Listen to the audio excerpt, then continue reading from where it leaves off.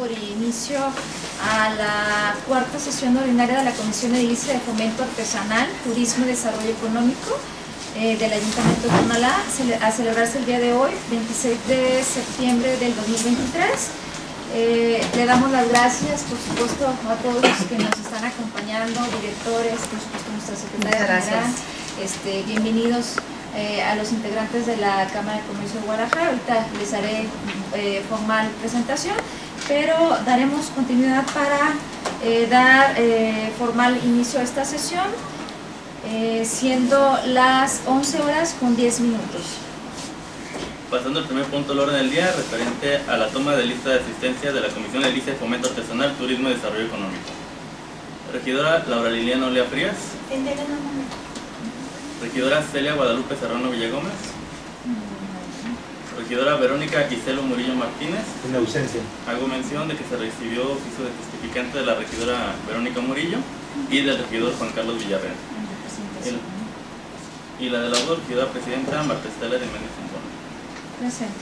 Presidenta, le informo que se encuentra que no tenemos quórum dentro de la Comisión de Fomento Artesanal, Turismo y Desarrollo Económico, por lo cual no podríamos sesionar. Bueno, haremos una mesa de trabajo este, en lo que se integran los, regidores de la comisión para ver si podemos hacerla eh, como sesión como tal.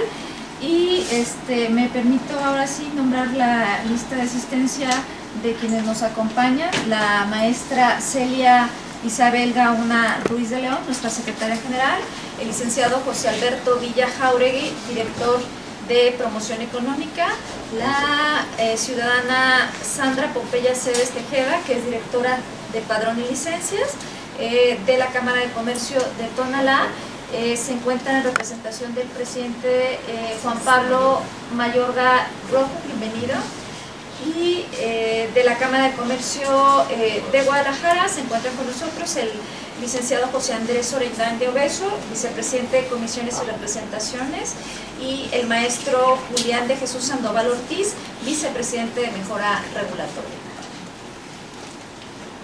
Pasando al siguiente punto del orden del día, podríamos continuar con la exposición del radar regulatorio.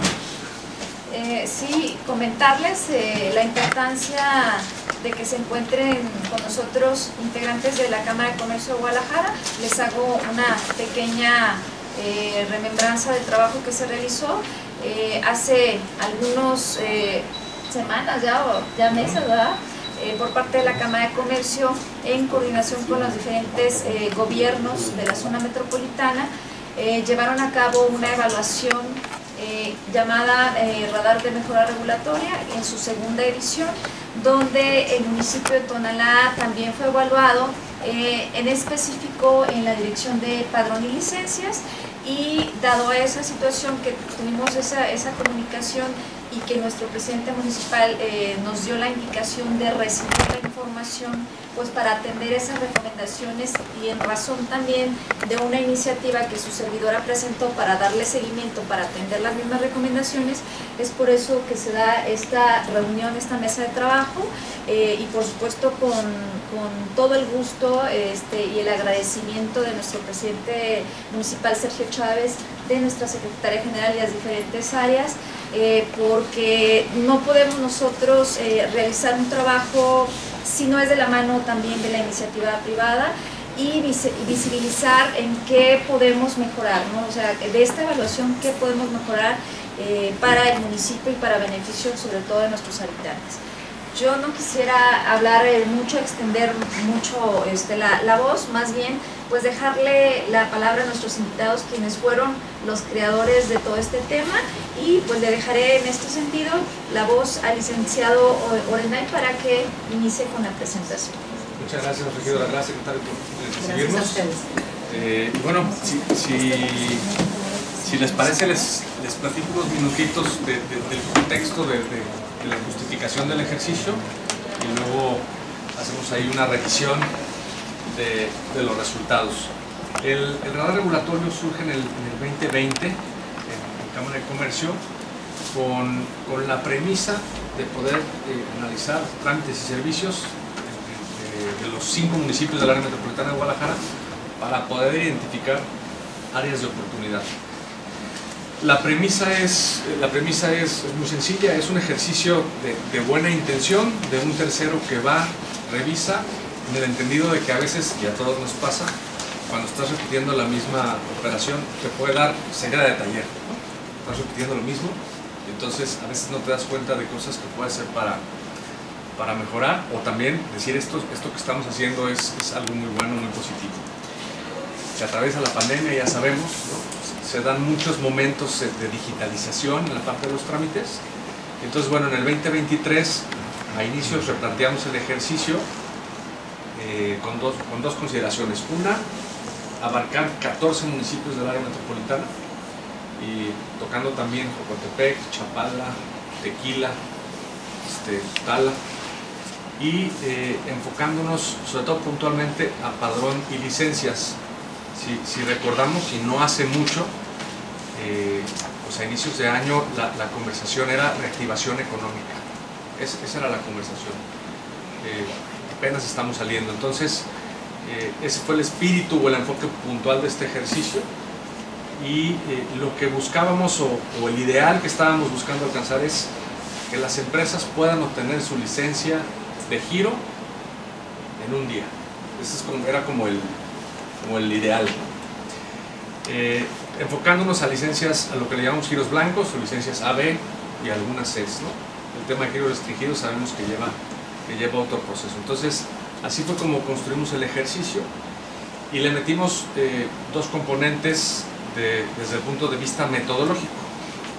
De una calificación de 100%, decidimos asignarle 30% del valor a, a, a unas encuestas de percepción ciudadana la misma premisa, es decir, que el ciudadano diga su sentido. Y el otro 70% ya el trabajo de análisis técnico que estructuramos en nueve capítulos y que ahorita este, mi compañero Julián va a ahondar sobre esos nueve capítulos. Entonces, eh, para ser ya, ahora sí que un poquito más, más ejecutivos, eh, pues ya. Ya, aquí ya están, échale. Los nueve capítulos, ¿no?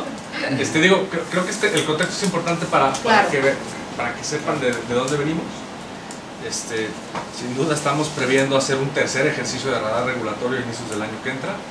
Eh, la intención es ampliar más geografía, eh, quizá ampliar algunos trámites, porque hemos visto que, que al final las recomendaciones que salen está bien interesante porque en muchos municipios la, misma recomendación puede aplicar. Y entonces eh, se puede visualizar una ruta clara de si, logramos trabajar en metro en, conjunto con área metropolitana podemos encontrar rutas de homologación. Podemos encontrar rutas de simplificación que ayuden a que pues, cualquier empresario o empresaria en, en Tonalá, en Tlaquepaque, en Zapopan, en Chapala, en Tala, en Acatlán, con, la, con el mismo requerimiento de, requisitos, valga la redundancia, y con el mismo procedimiento pueda obtener su licencia en el menor tiempo posible. Entonces, este, ahora sí, estimado Julián. Muchas gracias, muchas gracias por la, por la integración de esta mesa. La verdad es de que agradecemos, como se lo comentaba a la directora de Padrón de Licencias, a la secretaria general, agradecemos el interés, el interés por dejarnos eh, celebrar esta segunda edición de evaluación. Tuvimos muy buena experiencia en términos generales en el 2020, como lo comenta José Andrés Arandain, en el sentido de que se evaluaron esos cinco municipios de zona metropolitana, entre ellos ustedes, y la evaluación fue general, efectivamente, sobre cinco, sobre cinco dependencias de cada uno de los cinco municipios era administración, era padrón de licencias, era tesorería, era, me parece que, creo que también era ecología, alguna parte. que se evaluó en esa vez? En ese ejercicio que fue muy importante, se evaluaron aspectos de mejora regulatoria, aspectos de agenda de mejora regulatoria de los cinco municipios eh, propiamente, y se evaluaron algunas generalidades de distintos trámites de distintas naturalezas. Se evaluaron costos, formas de tener, los tiempos. Lo que hicimos ahora, que yo lo llamo de manera informal, si, la, si, la, si el primer radar fue como un pentatlón, ahora nos enfocamos solamente en un ejercicio que es padrón de licencias y lo que quisimos precisamente es ver quién es quién en la eficacia y en la eficiencia para poder, de, los de 14 municipios, ampliándolo a los 14 municipios que, lo, que mencionaban, eh, quién es quién para poder tramitar una licencia nueva de, comercio o de giro comercial. Eh, esto nos llevó, evidentemente, a construir una nueva matriz de criterios que, la tomamos con la participación de ustedes, en este caso con los directores, con los 14 directores de padrón de licencias. Se evaluaron algunos trámites accesorios como anuncios, este, licencia de anuncio, permisos provisionales, pero el fuerte, el fuerte del ejercicio es qué tan rápido un municipio puede otorgarle a un nuevo negocio una licencia municipal de giro, con qué situaciones se encuentra el, ciudadano. Y entonces como lo, como lo decía mi compañero, eh, esta evaluación se dividió en dos partes. Una que es la percepción, que lo tomamos a través de un muestreo de encuestas de salida de, las oficinas, y otra que es la, la evaluación técnica que le hicimos con el acompañamiento de los directores, donde pues, toda la información la obtuvimos, de ellos. Eh, en la primera parte eh, creemos que hay resultados positivos en términos para Tonalá, hay, hay, una percepción de que no hay, de que no hay corrupción. Eh, a veces la percepción que, le dimos un valor, nosotros le dimos un valor del 30% a esta evaluación, la, la, percepción de encuestas, y el otro 70% efectivamente la evaluación técnica, porque la percepción pues puede ser engañosa, no nos podemos ir, quien hace encuestas meramente para cuestiones técnicas de trámites, pues en realidad nos estamos yendo con opiniones generales, opiniones de personas que no son expertas, opiniones de personas que no tienen otra comparativa, hay personas que nunca han ido a otra oficina de padrón de licencias más que la de Tonalá y entonces eso nos pone en un criterio hasta cierto punto subjetivo de qué es bueno y qué es malo, ¿no? Y, cuáles, y cuáles son los, el entendimiento de cada ciudadano que contestó las encuestas. Entonces, el 70% de la evaluación es precisamente esta evaluación técnica, donde la dividimos efectivamente en nueve capítulos nueve capítulos que nos permiten desentrañar en una evaluación hasta cierto punto única en, en, padrón de licencias, al menos aquí en Jalisco, cuáles son esos procesos o microprocesos, no solamente que vive el ciudadano de la ventanilla hacia afuera, sino la propia autoridad.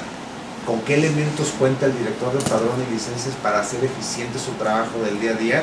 A veces eh, en la experiencia de, los, de las 14 oficinas nos, decían los propios directores, la verdad es que nosotros batallamos con esto porque depende de otra dependencia, a veces es protección civil que se retrasa, entonces esta evaluación técnica está enfocada más hacia adentro que hacia afuera, aunque evidentemente hay cosas que, que confluyen.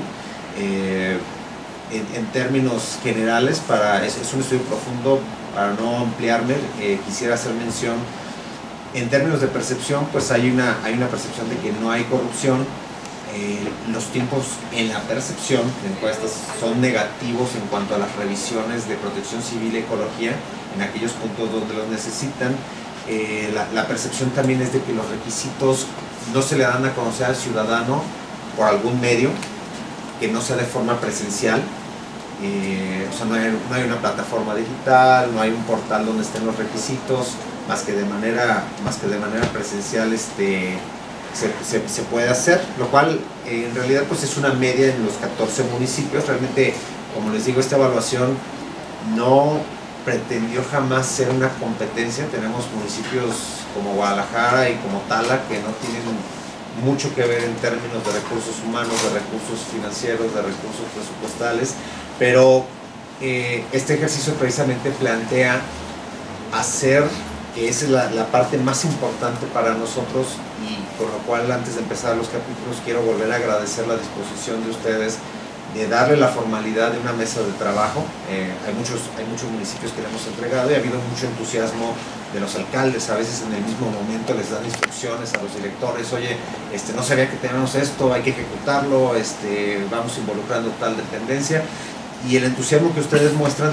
a, manera de esta mesa pues también nos, nos congratula bastante porque la parte fuerte son estas recomendaciones que construimos con la intención de que fueran eh, susceptibles de que sucediera. No les estamos recomendando, oye, te consigue una bolsa de 20 millones y hagan un edificio, ¿no? Claro, sería el ideal, pero la verdad es que hay veces que mejorando procesos y microprocesos, como lo van a ver en las recomendaciones, se pueden lograr bastantes resultados positivos que el ciudadano los puede palpar, los puede palpar de forma, de, forma eficaz y de forma, de alguna manera, temporalmente eh, susceptible de que suceda. Entonces, eh, en la parte de percepción, eh, haciendo esos señalamientos, como les, como les decía, hay, hay, la percepción de que cuando intervienen otras dependencias es lento el trámite, aunque también es, es cierto que la gente tiene la percepción de que los, de que los permisos eh, sí se otorgan. Hay municipios que no otorgan permisos provisionales en ningún punto del proceso del, del, del trámite de licencia de giro comercial.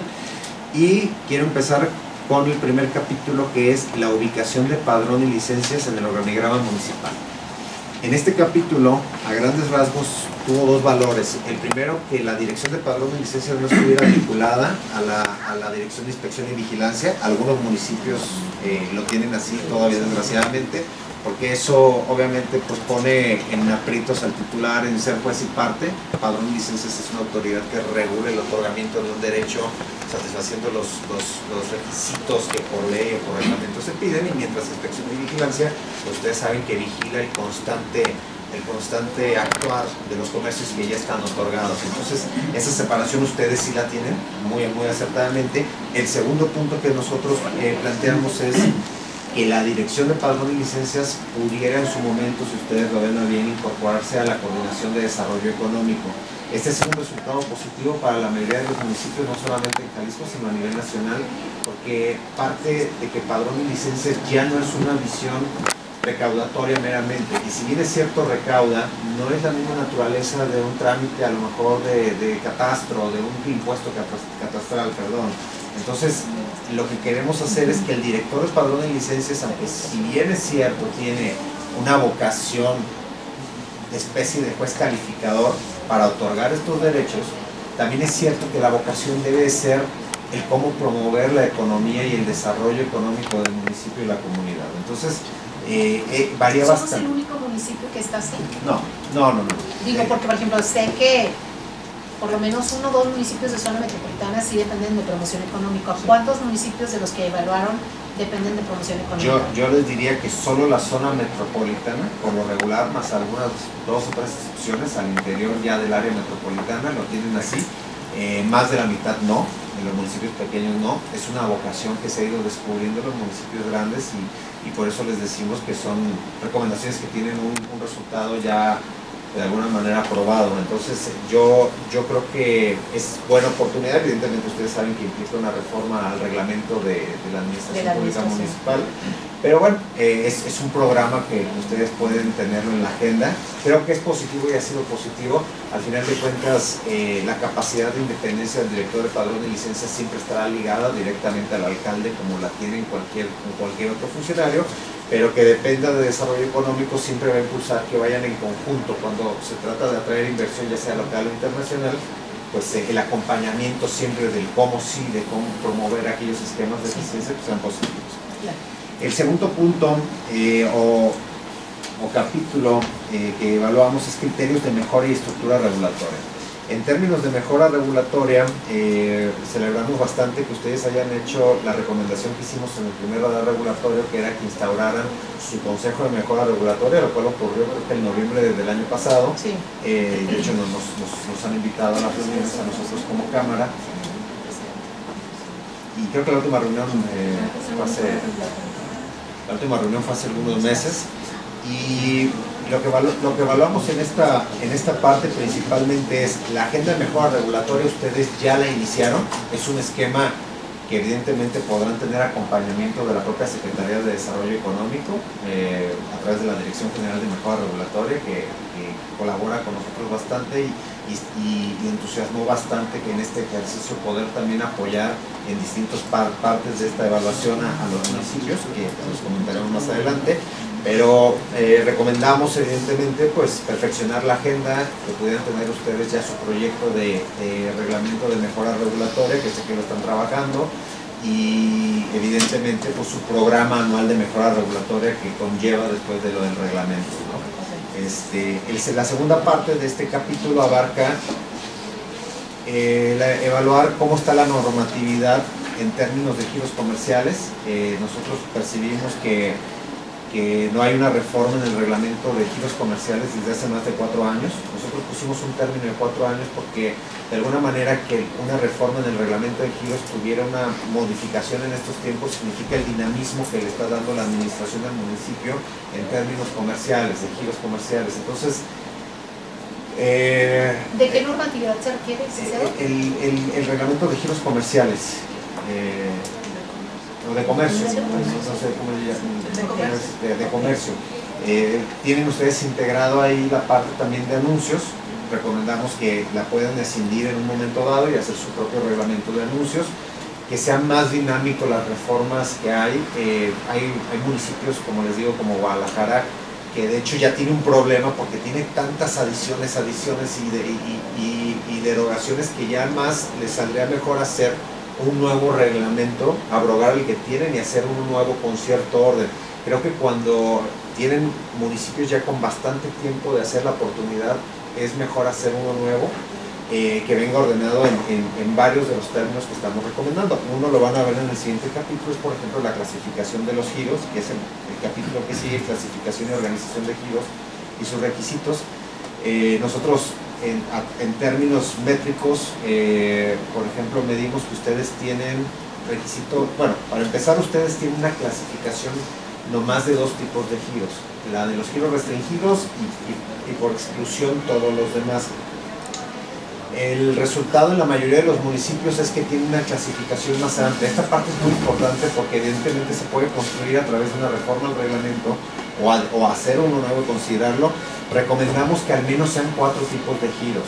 Eh, hay, municipios que tienen siete tipos de giros, como es el caso del Salto, hay otros municipios que tienen cuatro y algunos de control especial, pero creemos que la base pudiera ser considerar un tipo de giro para giros de alcohol, como ustedes ya lo tienen, que lleva un tratamiento especial, como lo dice José Andrés, un proceso de, de un comité de regidores, que nosotros no nos metimos a ese tipo de, de proceso, nosotros nos metimos a todos los demás y en el todos los demás, eh, evidentemente, pues hay también clasificaciones. Y es donde recomendamos que hubiera tres.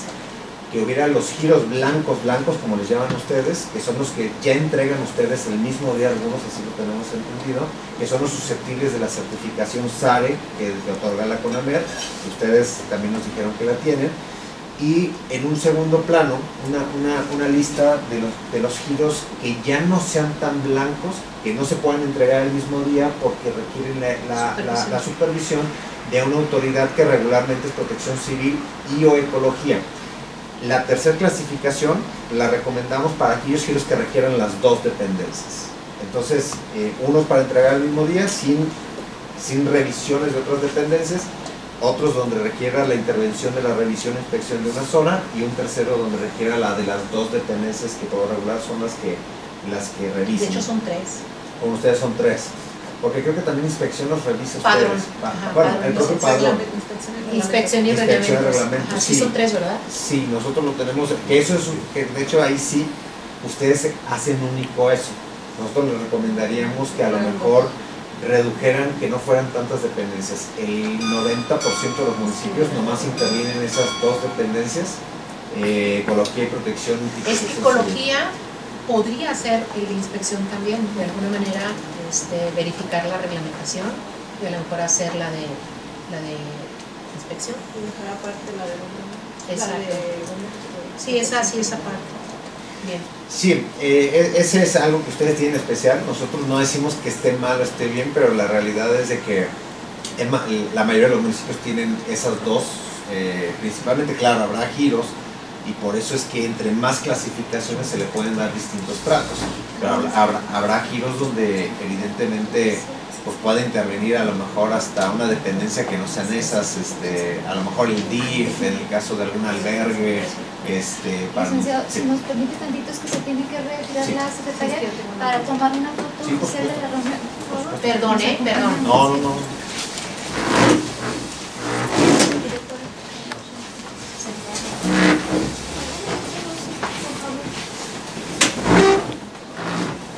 Una disculpa, ¿eh?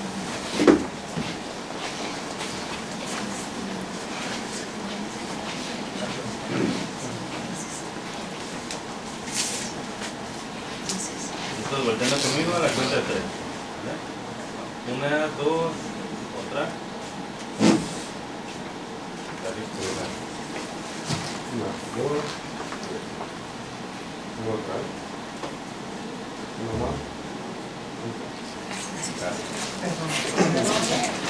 Se queda una persona de secretaría, que de hecho es el encargado de, de reglamentación, para todas las adecuaciones que tengamos que hacer, eh, abocarnos al, tema. Muchas gracias.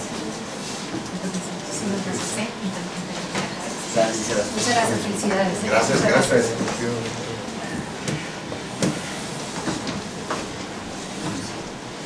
Entonces, como les mencionaba, el tema del, del catálogo de giros es muy importante porque de ahí parte el... Sí.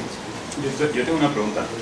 Este, hace un mes, tengo un mes trabajando para abrir una serie de, de carnicerías que quiero poner. Hay uno de los requerimientos que viene ahí abogando lo que usted está diciendo, que es el visto bueno de... No, de Resguardo del rastro. resguardo del rastro. Ese entra de lo que estás mencionando, porque es, la pregunta es, se vuelve un poquito difícil en cuanto al tema de yo estoy construyendo, pero qué tal si lo que construí no es lo que ellos estaban esperando. Entonces me tuve que reunir con ellos, oye, voy a hacer esto, esto, esto, esto, esto, ¿está bien? Sí, lo construyes. Y si por alguna razón ya no entra de eso, entonces echa todo para atrás. Esa es como una cuestión difícil para un negocio que requiere o algo de protección civil también. Porque tú construyes ya en base a lo que te dijeron hace unos meses, construyes y tal vez ya no es. No sé si eso entre dentro de La, la verdad es bueno que lo menciones porque precisamente estos son los casos atípicos. Eh, en realidad lo que han hecho los municipios que ya tienen, este, obviamente, implementación de, de más elementos de protección civil, por ejemplo, les puedo decir que esos, esos de protección civil están capacitados para revisar diferentes giros, que pueden ser temas de carnicería, pero obviamente habrá situaciones que el municipio los tenga por separado. Nosotros lo que estamos recomendando es acumular las facultades en la, en la, en la menor cantidad de dependencias. Porque entonces ese se vuelve un brinco para el ciudadano, como tú dices, oye, pues ya me revisaron en ecología, en protección civil, ya fueron los de padrón y licencias y ahora tengo que ir con otro. Entonces eso se vuelve hasta cierto punto eh, una ineficiencia en el proceso del trámite, porque también ya no depende del director de padrón y licencias. Nosotros estamos recomendando a los directores, a ver, todo debería concentrarse en padrón y licencias y la comunicación de padrón y licencias debería ser con todas las dependencias que tienen que ir sin que el ciudadano tuviera que ir.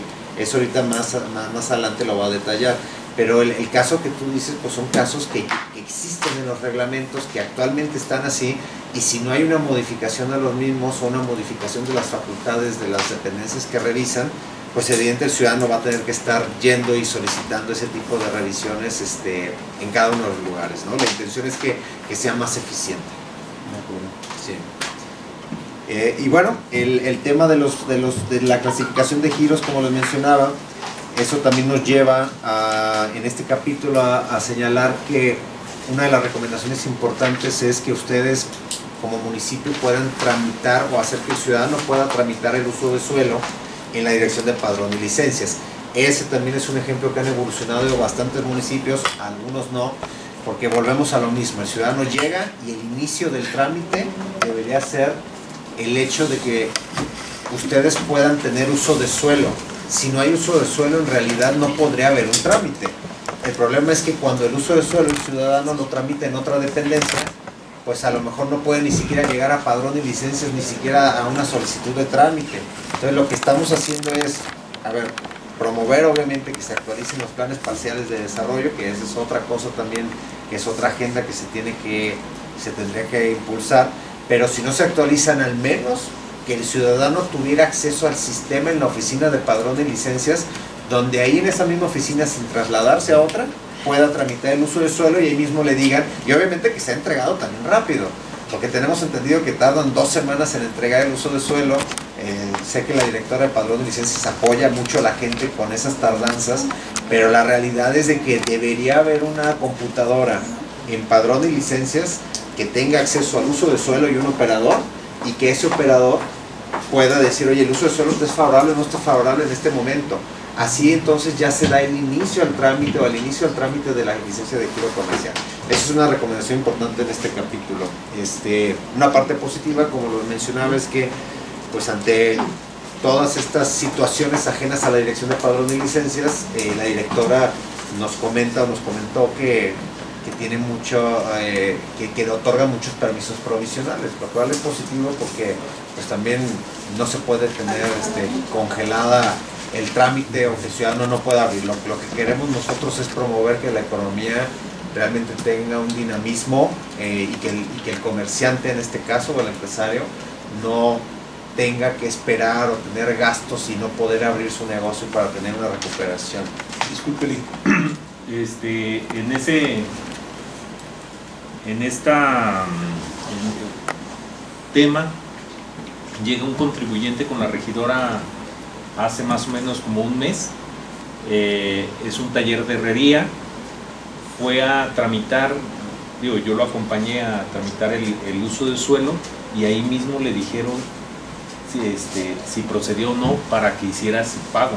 Entonces sí hay como que esa, e- esa persona que dice usted con el mapa, sí, sí, la, sí existe, pues, porque en ese momento le dijeron, ¿sabes qué? Este, tendrás que hacer un pago, pero déjame checarte para ver si, si va a proceder o no. Entonces, por ese lado sí estamos, este, creo que sí cubrimos esa Sí, sobre esa todo, sobre todo para los que implican revisiones más específicas. Ahí Sí. sí están pidiendo el dictamen. La, la propuesta de él es que esa persona esté en Está en padrón, padrón de y licencias. Ah, y, ahorita lo tenemos, Exacto. pero está En otra oficina. En, Sí. en obras Exactamente. La Sí, es- es, que esté en padrón. Sí, que la verdad es un proceso que se puede implementar realmente muy práctico, ¿eh? Sí, porque si es la misma persona, nada más que que esté, que esté en padrón de licencias, efectivamente. Eh, en el siguiente, el siguiente capítulo, que es muy importante, es el, de, el proceso de las revisiones e inspecciones. Efectivamente, cuando hablamos de estos tipos de giro que necesitan esas revisiones de otras autoridades, que por lo regular, como les comento, es ecología y protección civil, y lo que analizamos aquí es cuál es la comunicación de la Dirección de Padrón y Licencias con esas dos dependencias. Hay varios esquemas que, que son efectivos. La comunicación que ustedes tienen actualmente es a través de oficios. El ciudadano llega, se le dice que su giro va a tener una revisión de otras dependencias lo que hace es que la dirección le manda oficios a esas dos dependencias para que vayan a revisar. Una de las recomendaciones, hay varias en este capítulo, pero seguramente se, se avanzarán en otras mesas, pero una de las recomendaciones es que esa comunicación sea más ágil. A veces los oficios son tardados. Algunos municipios inclusive les puedo decir que mandan oficio por un tema de certeza jurídica inter, interdirecciones, pero tienen comunicación vía WhatsApp. Por ejemplo, Ixtlahuacán los membrillos, las revisiones son muy ágiles. Claro, es más chiquito que aquí. Ellos con pocos funcionarios también cubren la demanda, pero lo que creemos es de que puede haber una mejor comunicación más ágil. Hay el, esquema más eficiente que nosotros hemos visto en el tema de las revisiones es como lo tiene Zapopan. Zapopan es el único municipio que tiene un esquema donde tiene una unidad de padrón y licencias que son funcionarios que dependen de padrón y licencias, pero están capacitados por protección civil y bomberos, están capacitados por ecología. ¿Qué pasa cuando un ciudadano quiere un giro que tiene necesidad de estas revisiones? Pues sale de padrón y licencias inmediatamente el equipo. Claro, cuando son de más metros, sí tienen que, de- de- va por unas cantidades de metros, pero hablamos de las licencias que de forma general el ciudadano pide, de- que son de pocos metros, que no son de tanto riesgo, no es una fábrica, donde ahí sí tiene que ir protección civil. En la generalidad, esta unidad cubre la necesidad de inspección de las dos dependencias y entonces ya no tienen que ir esas dos dependencias ni tardan los procesos de revisión. Le comentamos muchas veces a los directores de padrón y licencias, a ver, ustedes son la cara de los servicios, de uno de los, de los trámites principales del ciudadano. El ciudadano puede ir a registro público, a registro civil, sacar un acta y enojarse porque no se le dan el mismo día y ahí queda. Pero si un ciudadano no le das la oportunidad de abrir su negocio, si te estás tardando y él ya empezó a invertir por la razón que sea, la agenda es de padrón y licencias. El, el- director de protección civil y bomberos tiene otra agenda muy amplia que tiene que ver a veces con incendios, tiene que ver con otra cosa. Ecología igual. Y entonces a veces el director de padrón y licencias dice, "Oye, es que no es mi culpa que los elementos de allá no dependen de mí son lentos. Eh, Este esquema provoca la eficiencia precisamente en tiempos y en que el propio director de padrón y licencia mande esas revisiones. Los siguientes esquemas son, que tienen algunos otros municipios, es por ejemplo Tlaquepaque tiene, les cuento que Tlaquepaque tiene una ventanilla de protección civil y una ventanilla de ecología en la misma en, el- en la misma edificio de padrón y licencias. Entonces, él no se hace cargo de esas revisiones, pero a ver, ciudadano no tiene que andar brincando en las otras dos dependencias a buscar su revisión, porque ya en ese mismo edificio la tienen de los dos y puede agendar su cita. Otro punto importante que percibimos aquí es el hecho de que, y lo comentamos con la directora Sandra, el hecho de que los requisitos o los criterios que van a revisar protección civil o ecología puedan ser otorgados en la misma dirección de padrón de licencias, porque la gente va ciegas. Ya le pide padrón de licencia los trámites eh, de documentación legal que tiene que entregar, pero no sabe que le va a pedir protección civil y bomberos, si tiene que ir o tiene que hablar por teléfono, y entonces si se entregaran ahí los criterios, a lo mejor el ciudadano pues se puede preparar, puede cumplirlos y ya nomás hablar a las dependencias para que pueda tener una cita y su- hacer su periodo de revisión. Eh, hay, hay muchas configuraciones, pero en esencia les digo que, que si pueden adaptar bastantes cosas, este, inclusive con los esquemas que tienen. El siguiente punto, este, bueno, hacer la referencia de que cuando tienen el dictamen, el dictamen de las revisiones de protección civil y ecología, es muy ágil, ya cuando lo tiene el ciudadano es muy ágil que se otorgue la licencia, el padrón de licencias, sucede creo que al otro día, este, porque ya no hay nada que cumplir. Pero más que todo son estos procesos de comunicación y procesos que el ciudadano tiene que vivir este, con las otras dependencias. El siguiente punto es el proceso de la firma de la licencia municipal. En este ustedes tienen eh, pocos municipios, más que los de la zona metropolitana, tienen la firma electrónica. En otros municipios es muy ineficiente porque el alcalde o el, funcionario todavía las firma de forma manual. Entonces en este, en este ustedes cumplen con un puntaje que de hecho es, es- es un puntaje que le asignamos más alto por cumplir con esa eficiencia. El siguiente punto es los costos y formas de pago. Aquí lo que les recomendamos a ustedes es que puedan hacer convenios para el pago de la licencia municipal de giro comercial, que pudiera ser en tiendas departamentales, que esa es una situación que pudieran buscar a lo mejor con Oxxos, así como ya lo tienen, creo que lo pueden tener con catastro o, perdón, con, con pa- pago del predial, este, también ampliarlo para una licencia nueva de giro, de giro comercial. El siguiente capítulo son las condiciones y características físicas del edificio de padrón y licencias.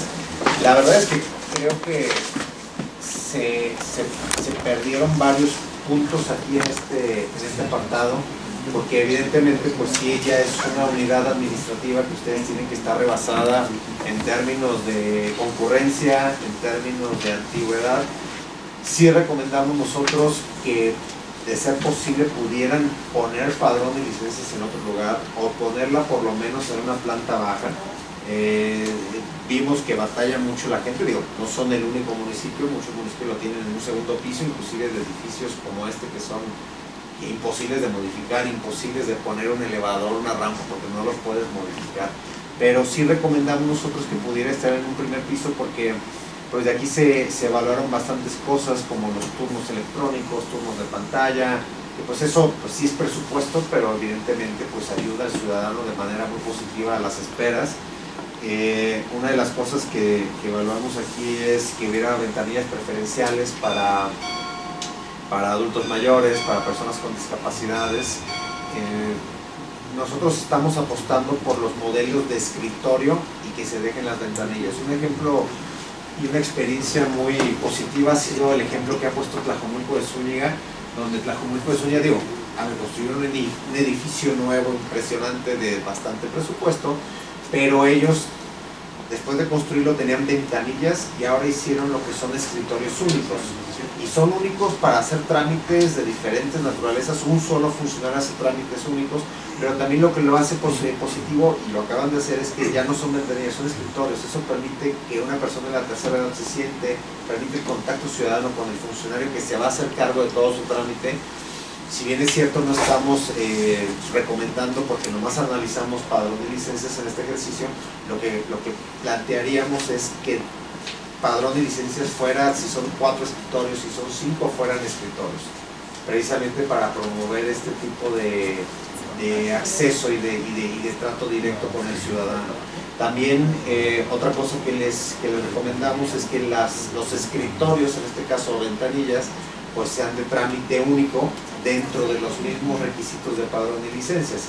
Que, que no vayan primero a donde tienen que acreditar los documentos, que no vayan después a otra área donde les tienen que a lo mejor revisar otra situación, fotos, no sé, que solamente un funcionario sea el que tramite todo eh, de padrón, si aunque sean cinco funcionarios, que ellos sean los que reciben absolutamente todas las fases de trámite y si hay que hacer revisiones por otras dependencias, bueno, pues se harán, ¿no? Pero que el ciudadano no vaya brincando de escritorio, de ventanilla en ventanilla en distintas fases. Otro punto muy importante que, que tenía asignado bastantes o un poco mayor puntaje que los demás es el hecho de que se pudiera otorgar el trámite o tramitar el- el- la licencia de giro comercial en otra ubicación diferente a la de padrón y licencia, sobre todo en municipios grandes como Tonalá, lo recomendamos bastante. A veces las personas no pueden acceder ya a los, a los, a los centros, este, a, los centros de las ciudades, más con una población ustedes que tienen de casi 700 mil habitantes, tengo entendido. Eh, Guadalajara sufre ese problema también. Guadalajara tiene centralizada su oficina ahí en la central camionera vieja y una de las recomendaciones que más eh, eh, le, le interesó al alcalde es la posibilidad de otorgar al menos otro tipo de giro en otras ubicaciones. Eh, Zapopan lo, lo está haciendo bien, ya tiene la ubicación de padrón y licencias más otras dos más en, do- en otras dos oficinas y entonces vuelve muy dinámico la posibilidad de que el ciudadano pueda asistir a otras sin ir al, al tráfico del centro, ¿no? cuando lo hace de manera presencial. Eh, el siguiente punto precisamente implica el grado de digitalización que tiene el trámite de licencia nueva, el padrón de licencias o también puede ser licencia de anuncio. En este punto, la parte más importante es que los municipios que tienen la digitalización al trámite pues están adheridos actualmente al sistema de visor urbano. Visor urbano, como ustedes saben, es una herramienta muy poderosa que, que puede ser susceptible de que ustedes la implementen a través de la Secretaría de Desarrollo Económico. Eh, hay todo el apoyo por parte de la Dirección de Mejora Regulatoria para, para hacerlo, ya sea que lo hagan a través del Consejo de Mejora Regulatoria o a través de otra instancia de desarrollo económico. Esta herramienta pues no nomás sirve para poder digitalizar eventualmente trámites como una licencia municipal, sino también en términos urbanísticos, en, términos de consultas de usos de, de usos de suelo. Es muy amplia y realmente el uso que se le da depende del propio alcalde hasta dónde quiere que llegue. Guadalajara les puedo decir que es el más avanzado de todos los municipios en términos de la agenda digital. Guadalajara permite ya que un ciudadano pueda imprimir una licencia con una forma no valorada, una licencia de giro blanco o giro A, como les dicen allá, y hasta de giros B también lo están permitiendo. Tlajomulco está a punto de abrir también las, las A y las B de forma digital, pero mientras tanto, por ejemplo, eh, Tlaquepaque lo usa en un menor grado, el visor urbano, Tlaquepaque lo que provoca es que puedo subir algunos documentos, bajar alguna solicitud al trámite e ir presencialmente en un trámite híbrido, ir con tu solicitud que te den tu licencia de manera presencial. No estar aquí evidentemente implica pues, que el trámite sea meramente presencial. Entendemos que ah, en este momento la gente prefiere, inclusive en estos municipios grandes, hacerlo de manera presencial, pero cada vez más personas van a optar en un futuro a 10, 15 años por los trámites digitales cuando la gente los conoce pues ya no los deja de hacer este, de forma digital por la eficiencia de la tecnología y de estas plataformas. Esa Eh, es una nueva pregunta. Sí. ¿Estas plataformas digitales es propiedad de los municipios, es propiedad del Estado o son empresas que les venden este, toda la transformación digital a los municipios? Visor Urbano, eh, o sea, sin duda la plataforma es del gobierno del Estado, pero hasta donde tengo conocimiento técnico, sería una consulta que podríamos ustedes, eh, todos los accesos y toda la carga de información es propiedad del municipio. Es como si le abrieran, digamos, un micrositio en términos más, más este, civiles, ¿no? menos de ingeniero, ¿no? y ustedes ahí operan y ustedes seleccionan lo que quieran o lo que les sirva de la plataforma. Si nada más les interesan usos de suelo, suelo. O sea, ustedes ahí sería cuestión de, de detonar una reunión para que les, expliquen el alcance y ustedes vean qué, qué embona, ¿no? Porque pues digo, también ustedes pueden tener ya sus inversiones hechas en, en sites, en, ¿no? desarrollos propios, y es encontrar que puede ser útil. Sí, y aquí en este punto lo que nosotros recomendamos, al menos en lo inmediato, es que puedan hacer uso de redes sociales, de sitio web, que lo tiene un sitio web el Ayuntamiento de Tonelá y que en ese sitio web se pudiera alimentar a lo mejor de los requisitos que piden para ciertas licencias, de, los de los requisitos o criterios que mejora este, este, protección civil, ecología, todo lo que se pueda publicitar, porque si mucha gente, la verdad, mucha gente dice, oye, ¿sabes qué, qué requisitos hay? No, la gente ya la habla directamente a Google por voz y, entonces que pudieran tener estos accesos. ¿Qué, son, ¿Qué es lo principal? Los requisitos. Que la gente no vaya a ciegas, aunque lo vaya a hacer presencial. Entonces, la recomendación principal efectivamente es, adherirse al visual urbano, que eso lo, lo, lo pueden ver con SEDECO, pero mientras pues se pueda avanzar bastante en publicitar requisitos, como les comenté. Y el último capítulo eh, es sobre la, accesibilidad, que esto va también ligado a, la, a las características del, edificio de padrón y licencias. La accesibilidad, pues medimos aquellas características, implementaciones para personas de tercera edad, discapacitados, discapacitados. Hay personas de distintas discapacidades y bueno, pues en, en, este punto también hay mucha oportunidad de mejorar y de verdad sería importante pues empezar con un, con un plan a lo mejor para descentralizar de esa unidad a padrón y licencias, hacerlo en otro lugar o, o poner una planta baja que permita el, mayor acceso al lugar. No, no, hay, no hay rampas, no se puede subir este, para alguien con de ruedas, los adultos de la tercera edad, la directora me comentó que que a veces nos ayudan y baja personal a, a recibir sus documentos al primer piso. Entonces creemos que es importante que se pueda considerar a estos grupos este, de personas que tienen a veces problemas para, llegar a un segundo piso. No se puede poner elevadoras en el, en el, edificio, así es que sí tendrán que considerar. Sobre todo les voy a decir por qué, porque es demasiada carga para esa oficina. No hay otra ubicación donde otorguen este, este, este, este trámite. Entonces, o descentralizan o mejoran o, o, la mandan a otro lado, pero creo que será muy positivo la gente, lo, lo, los ciudadanos lo van a agradecer bastante. En, en, esencia estos son generalidades de los, de los capítulos que analizamos en la evaluación técnica, las recomendaciones que ya se les entregó al municipio pues, eh, podrán ser planteadas y discernidas en, en, mesas de trabajo, en acercamientos que tengan ustedes también hacer entre dependencias la Dirección General de Mejora Regulatoria de la Secretaría de Desarrollo Económico del Estado los, está apoyando los municipios en el tema de visual urbano, en el tema de, también de, la implementación de la agenda de mejora regulatoria, les están pasando proyectos para que ustedes puedan estructurar sus reglamentos de mejora regulatoria.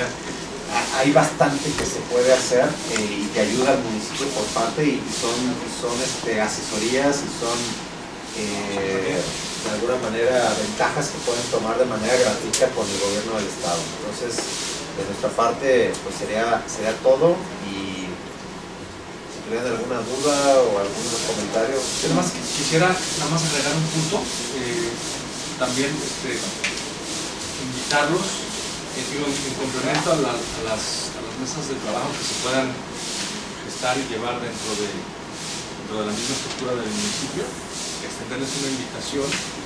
Se, creó un subcomité dentro del Consejo Estatal de Mejora Regulatoria, un subcomité de, de, comerciales o de padrón y licencia. Y, lo que estamos eh, empujando desde, desde esa mesa oficial es justamente tratar de hacer cruces más puntuales de las buenas prácticas que hay en los municipios, que, que todos tienen, y de las áreas de oportunidad que hay en los mismos municipios, y tratar de hacer cruces con miras a, tratar de homologar lo que sea posible homologar, atendiendo a la vocación de cada municipio, atendiendo a las circunstancias y a las, características que tiene cada municipio. Entonces, también este, está, está esta invitación. Eh, pues agradecerles este, una vez más el, tiempo. Gracias. Profesores, ¿quieren hacer alguna intervención? Pues agradecer, eh, la verdad, este la, importancia de la evaluación que realizará nuestro municipio para visibilizar, no es un tema de crítica, yo creo que más bien es un tema de poder enfocarnos en qué podemos resolver, en qué podemos atender de manera inmediata. Como bien lo mencionaste, maestro, algunas cuestiones son administrativas, ¿no? Este, no se necesita la inversión eh, para poder hacer algunas modificaciones, para ir iniciando de primera instancia, aunque también veríamos si la Comisión de Hacienda pudiera reflejar alguna, alguna asignación de presupuesto para espacios mucho mejores para atención de, los ciudadanos. Entonces, agradecidos nuevamente por esta atención que nos están dando al municipio de Tonalá, ya lo dije a nombre de nuestro presidente municipal, por supuesto, bienvenido siempre de la Cámara de Comercio de Guadalajara al municipio de Tonalá. Entonces, este, las observaciones que nos estarán, que nos hicieron, eh, me daré a la tarea junto con los regidores de la propia Comisión Edilicia para atender punto por punto y ver quiénes son los que intervienen de los administrativos, de los funcionarios, para poder este, dar solución y seguimiento a cada uno de los puntos. Entonces, eh, Yo tengo una pregunta. Esto es muy, muy buen material, que, muy buen análisis. Yo que he estado intentando hacer un trámite, bueno, no he intentado, me voy. Eh, se ve reflejado aquí, es muy bueno, la verdad. Lo, lo he llevado muy bien. Solamente me gustaría preguntar si aparte de preguntarle a la directora y a las personas que van ahí, también se le pregunta a la persona que ejecuta el trámite, porque a esas personas son las que diariamente hacen el trabajo directamente con la persona y tal vez esas personas tengan algo que... Este, ¿No de gestores? No, no de los gestores, la persona que está en la ventanilla. No, fue, fue exclusivamente al, ciudadano, al, ciudadano, al ciudadano empresario, es decir, sí, claro, claro. a la unidad económica que iba a hacer el trámite. Porque digo, no se entrevistó a sí, lo, lo, menciono por cuestión de, de, mejorar un proceso. Tal vez la persona que está en la ventanilla y que hace el proceso a veces dice, oye, ¿por qué siempre muevo este vaso a la derecha cuando lo puedo mover ya directamente aquí y nos ahorramos estos dos, tres pasos? O sea, creo que podría mejorar en el aspecto de, de, eficiencia, pues, en, específicamente en la dirección. Puede haber hallazgos interesantes si entrevistamos a, los mismos funcionarios que están en el escritorio o en la ventanilla. A así. Tomamos nota. Gracias. Pero no quería que no, sí, sí. Mejora regulatoria del ejercicio de mejora regulatoria. Bien. Pues gracias también a la Cámara de Comercio en representación de Juan Pablo de, del municipio de, de, de Tonalá este, y a los directores, por supuesto, por su asistencia. Y damos cuenta de la presencia de la regidora Liliana Olea y del regidor Juan Carlos eh, Villarreal, por lo cual se realiza eh, y se forma quórum para poder formalizar la sesión del día de hoy, no solamente dejarla como mesa de trabajo, y daremos seguimiento entonces a la sesión del día de hoy. Como lo comenta la regidora, me permitiría tomar nuevamente la lista de asistencia para la verificación de quórum legal. Regidora Laura Liliana Olea Frías. Presente. Regidora Celia Guadalupe Serrano Villagómez. En representación. Regidora Verónica Iselo Murillo Martínez. Hago mención de que se recibió justificante de inasistencia, pero en representación de Carlos Villarreal Salazar. Presente. Y la de la voz, regidora presidenta, Marta Estela Arismendi Pombona. Presente. Regidora, le informo que se cuenta presente la mayoría de los integrantes de esta comisión. En consecuencia y con fundamento a lo dispuesto por el artículo 60 del reglamento para el funcionamiento interno de las sesiones del Ayuntamiento Constitucional de Tonalá, se declara la existencia de quórum legal para sesionar, siendo las 12 horas con 3 minutos del día 26 de septiembre del 2023, agradeciendo nuevamente la presencia de todos los asistentes. Eh, por favor, continúe con el orden del día. Pasando al siguiente punto del orden del día, que es la lectura y aprobación del orden del día. Doy lectura. Punto número 1, lista de asistencia. Punto número 2, declaración de quórum legal. Punto número 3, lectura y en su caso aprobación del orden del día. Punto número 4, lectura y en su caso aprobación del acta de la sesión anterior. Punto número 5, lectura, discusión y en su caso adhesión o rechazo del proyecto de dictamen que resuelve el turno 688 que tiene por objeto implementar acciones para erradicar la explotación infantil, ejecutando el proyecto Turismo por la Niñez. Punto número 6. Análisis, lectura y discusión del turno 748 referente a las recomendaciones vertidas por la Cámara de Comercio de Guadalajara en los resultados obtenidos en la segunda edición del Radar Regulatorio 2023. Punto número 7, asuntos varios. Punto número 8, clausura y establecimiento de la próxima sesión. Se somete a su consideración, eh, compañeras y compañeros regidores, y en votación económica les pregunto si es de aprobarse el orden del día. Regidora, le informo que el orden del día se aprueba por mayoría. Pasando al cuarto punto del orden del día, lectura y en su caso aprobación del acta de la vigésima tercera sesión ordinaria de la comisión con fecha del 8 de agosto de 2023, misma que se le fue turnada por correo electrónico. Así es, y en virtud de que el acta en mención también les fue previamente circulada de manera digital, les pregunto si es de aprobarse. Regidora, le informo que el acta de la sesión anterior se aprueba por mayoría. Pasando al quinto punto del orden del día, referente a la lectura y discusión y su casa de no rechazo del proyecto de dictamen que resuelve el turno 688, mismo que tiene por objeto implementar acciones para erradicar la prestación infantil, ejecutando el proyecto Turismo para las Niñez, mismo que también se les fue turnado por correo electrónico. Así es, eh, a sus correos, eh, regidores y regidoras, eh, se les hizo llegar el turno 688, como ya lo mencionaron, que tiene por objeto el implementar las acciones para erradicar la explotación infantil, ejecutando el proyecto Turismo por la Niñez, eh, este turno nos fue eh, hecho llegar por la Comisión Coayudante de la Comisión de Seguridad y Prevención Ciudadana para su adhesión y rechazo. Eh, esta iniciativa tuvo que ver con, fue presentada por una servidora, inclusive hubo pues mesas de trabajo en donde asistieron inclusive también la Cámara de Comercio, la CIPINA, Tonalá, y eh, pues creando, lo que se trata es de crear un consejo interinstitucional para la prevención y erradicación del trabajo infantil, la protección de adolescentes, trabajadores en edad permitida en México, mismo que estará integrado de la siguiente manera.